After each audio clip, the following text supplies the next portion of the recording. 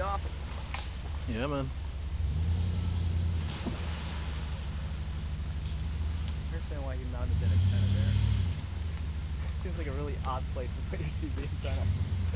It broke off last time you had it on the basket. Yeah. So you want it a little lower. Oh shit. Nice.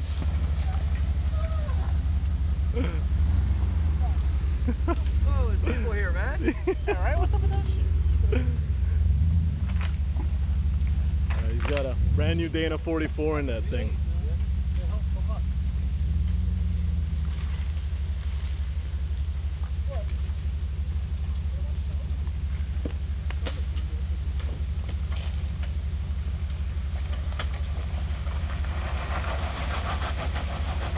Could use that locker in the front right about now.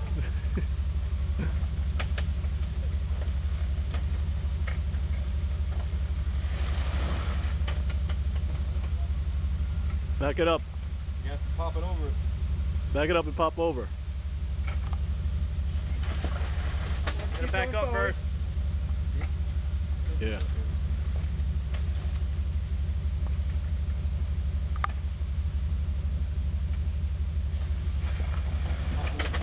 There we go.